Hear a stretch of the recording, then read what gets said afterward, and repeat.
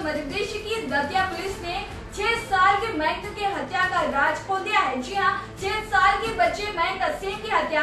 Gwalior police ने हवलदार रवि शर्मा ने की थी। जी हाँ दतिया में ड्यूटी कर रहे हवलदार शर्मा को मयंक पैसे मांग कर परेशान कर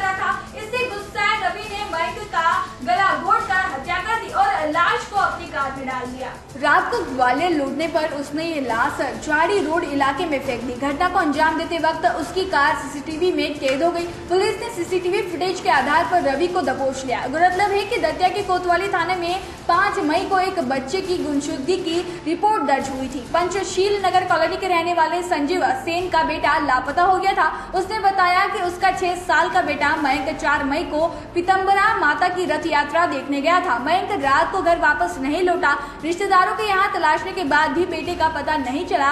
इस वक्त कोतवाली पुलिस ने अपहरण का मामला दर्ज कर बैंक की तलाश शुरू की थी। छह मई को दतिया पुलिस को खबर मिली की ग्वालियर के थाना झांसी रोड के साइंस कॉलेज इलाके में एक बच्चे की लाश मिली है। दतिया पुलिस के साथ ग्वालियर आए संजीव ने लाश की शिनाख्त मयंक के रूप में की। पुलिस ने बच्चे का पोस्टमार्टम कराकर लाश परिजनों को सौंप दी।